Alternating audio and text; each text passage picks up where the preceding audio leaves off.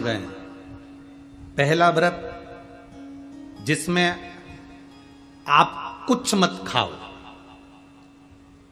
जैसे आप लोग करते हो फलार खाते हो, फल खाते हो, कुछ नहीं खाते। ये भी व्रत है।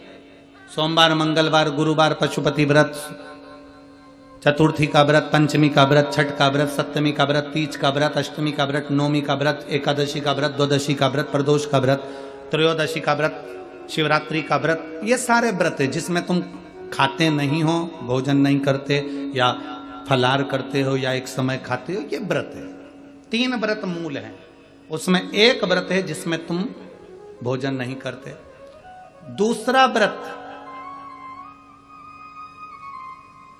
जिस व्रत में आप किसी प्यासे को पानी पिला रहे हो, भूखे को भोजन करा रहे हो, किसी की ज़िंदगी में कष्ट चल रहा है और उसके कष्ट को समाप्त करने का प्रयास कर रहे हो यह भी दूसरे नंबर का व्रत है। यह भी व्रत है। और तीसरे नंबर का व्रत, तीसरे नंबर का व्रत है किसी के चेहरे पर आपके कारण स्माइल आ जाए, प्रसन्नता आ जाए, आपके कारण किसी के चेहरे पर प्रसन्नता दिखे तो समझ लो ये भी व्रत है। ज़रूरी नहीं कि भूखे रहोगे तो व्रत कहलाएगा, ज़रूरी नहीं कि कुछ नहीं खाओगे तो व्रत कहलाएगा। व्रत की मूलता यह कहती है कि आप किसी के चेहरे पर प्रसन्नता ला दिए, वो भी व्रत है। आप किसी की दवाई का खर्चा उठा लिए, वो भी व्रत है। आप किसी पढ़ने वाले बच्चे के पास में पैसा नहीं, आपने उसका खर्चा उठा लिया, वो भी व्रत है। वो भी व्रत है।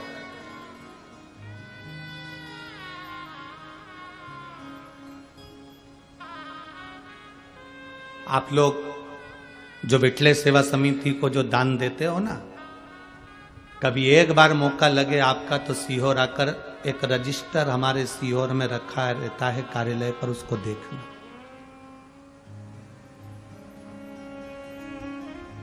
उस रजिस्टर में जो बच्चे पढ़ने वाले होशियार रहते हैं और उनके माँ बाप के पास में पढ़ने का पढ़ाई कराने का पैसा नहीं रहता तो उनके स्कूल की फ़ीस महाराष्ट्र के भी कम से कम 35 से 40 बच्चे हैं ऐसे हर हर प्रदेश के थोड़े थोड़े बच्चे लिए हैं। महाराष्ट्र के भी 35 से 40 बच्चे हैं जिनकी फ़ीस बिटले सेवा समिति आप जो दान करते हो उससे जमा करती है। जो बच्चे पढ़ने में होशियार हैं, पैसा नहीं उनके पास में। खबर करते हैं, फिर हमारी समिति का व्यक्ति वहाँ पर जाता है उस नगर के लोगों से सूचना मांगते हैं कि ये बच्चा, उसकी आईडी और उस स्कूल का पता निकालते हैं, फिर स्कूल वालों से संपर्क करते हैं, इनकी दीन दशा कैसी है, क्या स्थिति है, पढ़ने में कैसा है, फिर उसका समिति उसकी एजुकेशन करा देती आप केवल दान ये सोचकर नहीं करते कि हमने मंदिर का दान किया, गौशाला का दान किया, हमने इसका, नहीं, आपके दान का एक अंश कोई अगर पढ़ रहा है, कोई विद्या अध्ययन कर रहा है, उसमें भी लग रहा है।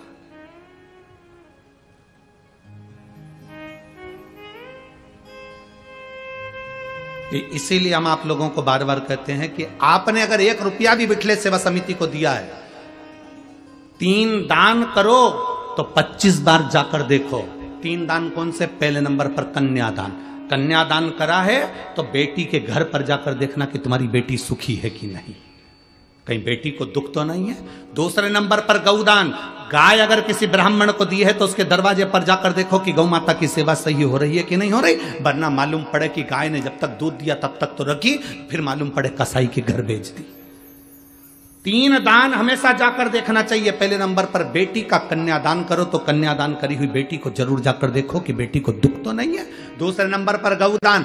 गौदान करने के बाद जाकर देखो कि गाय को सब व्यवस्था है कि नहीं? उसको चारा मिल रहा है कि नहीं? उसको पानी मिल रहा है कि नहीं मिल रहा? मालूम पड़े, दूध के चक्कर में कोई लेकर चले गया, तुमने गौदान कर दिया अपने दादा परदादा के नाम से, और मालूम पड़े गाय दुखी है तो हमको दुख होगा। तीसरे नंबर पर लक्ष्मी का दान। तुमने जो दान करा है, पैसे का एक रुपया भी अगर समिति को या किसी को दिया है तो वहाँ जाकर देखो कि तुम्हारा धन सही जगह लग रहा है कि नहीं लग रहा? हज़ारों लोग भोजन कर रहे हैं कि नहीं कर रहा? वो सही स्थान पर लगा कि नहीं लगा? मालूम पड़े, कटोरे में भिकारी ने पैसा लिया, शाम को जाकर मदिरा में लगा दिया, मांसाहार में लगा दिया, जुए में लगा दिया, वैश्यवृत्ति में लगा दिया, वो दान करने से कोई मतलब नहीं।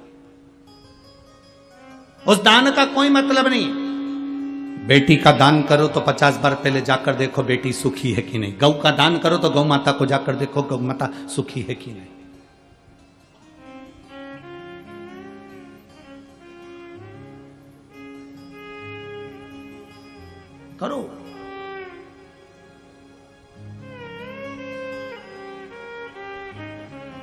भजन करो, स्मरण करो, श्री शिवाय नमस्तुभ्यम जपो, या एक लोटा जल महादेव को चढ़ाओ। यह मत देखना कि दुनिया को अच्छा लगा कि नहीं लगा, दुनिया ने क्या कहा, उससे मतलब मत रखना।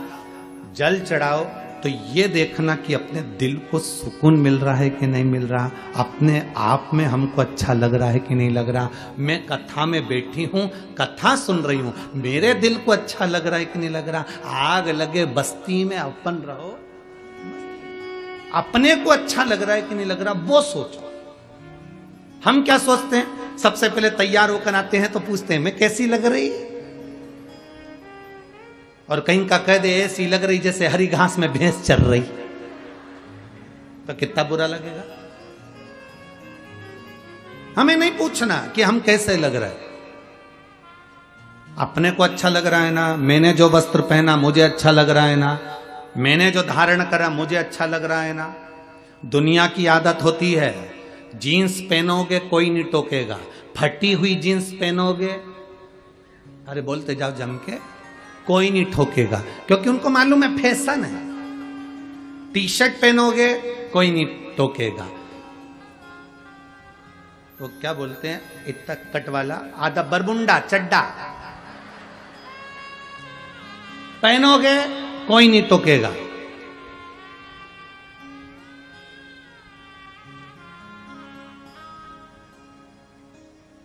मुँह पे चाहे तुम कितना भी क्रीम पाउडर लगा लो बोलते जाओ जम के, कोई नहीं टोकेगा।